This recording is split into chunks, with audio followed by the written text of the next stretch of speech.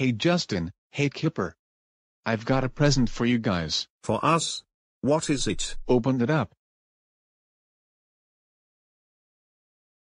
Whoa. Blues Clues and You Books. Blues Clues and You Books.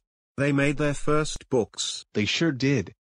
And these are the two books I got for you guys. World of Colors, and Count with Blue. Wow. Well these are amazing gifts Danny. Thanks. No problem. I hope you guys enjoy reading them.